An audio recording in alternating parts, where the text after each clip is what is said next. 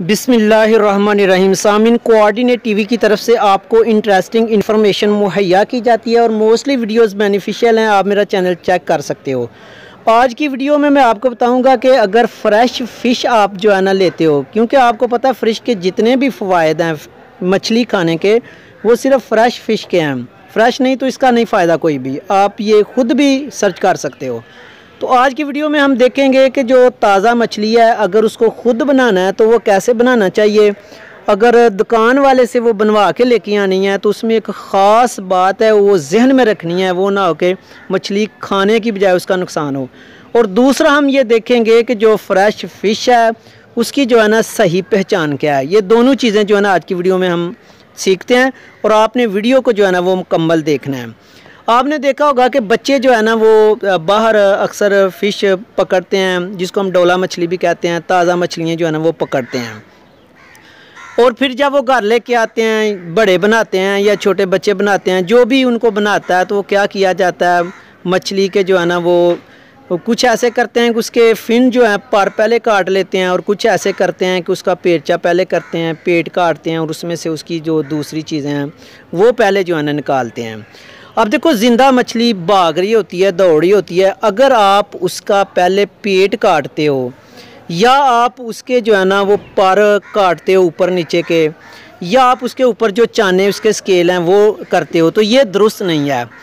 मज़ीद जानने से पहले जो है ना, आप हमारा चैनल जो है ना, वो सब्सक्राइब करें, वीडियो को लाइक और कमेंट्स किया करें। अब देखो, तस्वीर में आपको बता रहा हूँ कि सबसे पहले आपने उसका सर जो है ना, वो अलहदा करना है, ताकि उसकी जान ख़त्म हो जाए, बाद में जो कुछ मर्ज़ी करें। जैसे आपको जो है ना, ये थोड़ा सा आप स्क्रीन पर देख रहे हैं कि सबसे पहले ज़िंदा मछली जो भाग रही है, उसका क्या करना है? सर वाला हिस्सा जो है ना, वो अलहदा करना है, जैसे ये आप अलहदा देख रहे हैं। और उसके बाद जब उसका सर जो है ना, वो अलहदा हो गया फिर आप उसके चाहे पर पहले काटें, पेट चा करें, उसके ऊपर से चाने उतारें, उसको तकलीफ़ नहीं होगी। और याद रखो, ये तो ताज़ा मछली आपने पकड़नी है तो इस तरह करना है। अगर आप मार्केट से फ़िश लेके आते हो और वो फ़िश ताज़ा भागती है, हिलती है, उसमें जान है तो अभी वो हलाल नहीं हुई हुई। तो उसको कहना है कि इसको बनाना है तो सबसे पहले जो है ना, इसकी, इसका सर काटो।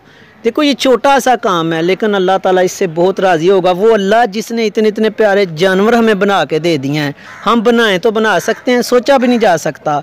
अपनी शाहकार चीज़ें दी हैं और कहा है कि इनको मेरा नाम लेके। फ़िश तो वैसे ही हलाल है, तकबीर पढ़ने की ज़रूरत नहीं, खाओ। लेकिन कम से कम इतना तो करना चाहिए ना कि जानदार जो चीज़ है, उसको ज़िबा इस तरह किया जाए, या कि उसको कम से कम तकलीफ़ हो, ये हमारा हक बनता है कि हम फ़िश को जब बनाएँ तो इस तरह बनाएँ कि उसको तकलीफ़ जो है ना वो कम से कम हो। तो उसका यही तरीका है कि आपने ये बात जहन में रखनी है। और दूसरा, मछली पकड़ने के जो तरीके हैं, आपको पता है एक तरीके में वो कांटा जो है, वो कैंचवा ऊपर लगाया जाता है, ज़िंदा, वो तड़प रहा होता है, और वो भी देखो जानदार है।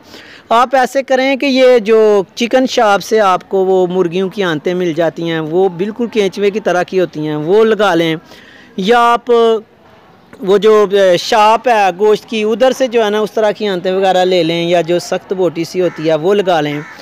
कोई इस तरह का तरीका कर लें, बड़े तरीके मछली पकड़ने के हैं या आप जाल से पकड़ लें, हैंड से, या बड़े तरीके उस तरह कोशिश करो कि कोई जुल्म वाला तरीका जो है ना वो शामिल ना करो, कि इसके, इससे अल्लाह और उसका रसूल जो है ना नाराज़ होता है। और दूसरा जो है ना, आप अगर ये छोटी बात है, याद रखो जो छोटी नेकियाँ हैं, उन्होंने इंसान को जो है ना वो जन्नत में लेके जाना है। और छोटे गुनाह जो है, वो छोड़ने से इंसान की बहुत ज़्यादा सलाह होती है। इसको आपने लाइट नहीं लेना, बल्कि फ्रेंड्स को भी बताएँ। और दूसरा, ताज़ा मछली जो है ना, उसके जो है ना, वो क्या फ़ायदे हैं? ये नहीं, उसके, बल्कि सारे फ़ायदे उसके हैं, उसकी पहचान क्या है? उसकी और भी पहचान होंगी, दो मेन पहचाने मैं आपको उसकी बताता हूँ। शुरू में आपने देखा था फ्रेश वो फ़िश मैंने उसकी वो सर तारा उसका जो गलफड़े हैं। फ्रेश फ़िश के जो गलफड़े हैं, वो उनमें रेडनेस होती है। और जो बासी, जो ताज़ा नहीं होती मछली उसके जो गलपड़े हैं, उनमें रेड कलर की शेड की बजाय डार्क मरून और वो डार्क मरून जिसकी शेड थोड़ी सी ब्लैक सी हो, यानी वो रेडनेस उसमें नहीं होती, जमे हुए खून से भी ज़्यादा उसका मैरून कलर होता है, यानी कि काली शेड होती है उसमें। और दूसरी पहचान जो फ्रेश फ़िश है, उसकी ये है कि आप मार्केट में जो फ़िश लेते हो, जब आप उसको सेंटर से पकड़ के उसका जो जिसम है, उसको थोड़ा सा ना आपने प्रेस करना है। या रखी हुई है तो ऊपर से आप फिंगर रख के ना उसके जिसम को ना ऐसे प्रेस करें। चौड़ाई के रुख जो है ना ऐसे वो यानी पड़ी हुई है। आप उसकी, उसके ऊपर फिंगर रख के प्रेस करके छोड़ें। अगर आप वो ज़्यादा बासी नहीं है, ताज़ा है तो जब आप प्रेस करके उसको छोड़ोगे तो आपके फिंगर के दबाव का जो निशान पड़ा हुआ है, वो दोबारा से सही हो जाएगा। या कुछ देर बाद यानी कि वो प्रेस करके जो गड़ा सा पड़ा है, यानी प्रेस का निशान, वो थोड़ा सा कम हो जाएगा।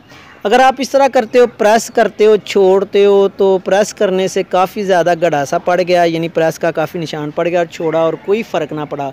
तो इसका मतलब है कि वो फ़िश इतनी फ़्रेश नहीं। या ये है कि उसके गलफड़े रेडनेस है तो भी फ्रेश है। अगर आपको ये वीडियो अच्छी लगती है तो आप जो है ना, इसको चैनल को सब्सक्राइब करें, फ्रेंड्स को बताएँ और लाइक और कमेंट्स करें। अल्लाह हाफिज़।